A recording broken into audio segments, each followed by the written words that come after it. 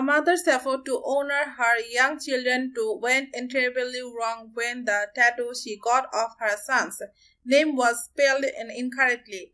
So she took what some might call an unusual approach and named for her son after the tattoo. Kevin, the two-year-old son of Johanna Sandström of Sweden, was renamed Kelvin after a tattoo artist inked on the wrong name of her arm.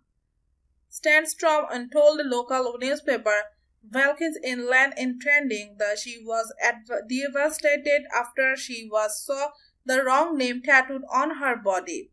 I said I wanted the names of my children tattooed on me, and I gave the artist their names, she said, according to the Independent.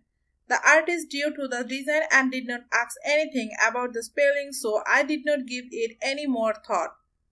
The mother, who also got the name of her daughter Nova tattooed, she said, when she got home and saw the tattoo, my heart stopped and I thought I was going to faint. When she returned to the tattoo shop, Sandstrom claims that the tattoo artist laughed and said the only thing he could do to fix the situation was give her a refund. She said that after realizing it would take several statements to remove the tattoo, she said and her husband decided the easiest fix was to change their son's name instead.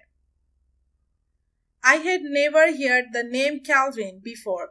She said there is not anyone who names in their kid Kelvin. So when I thought more about it, I realized that no one else has this his name.